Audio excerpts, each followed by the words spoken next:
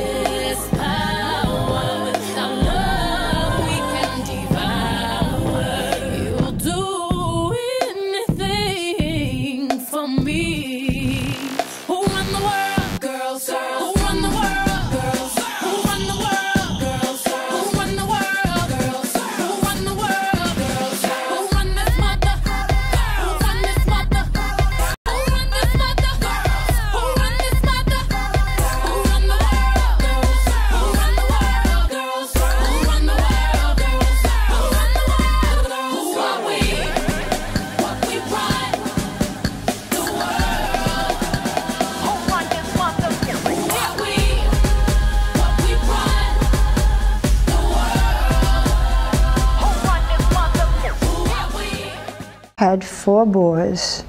Now you have three sons and a daughter. Mm, yes, I do. Did you always want a girl? Yes, I did. I wanted a daughter.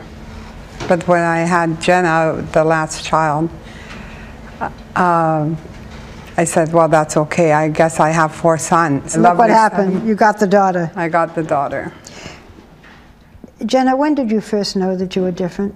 I just always knew that I was not what they were saying. It wasn't right. I thought that I was in the wrong body. You had years of therapy. You had hormone treatments. What did the hormone treatments do for you?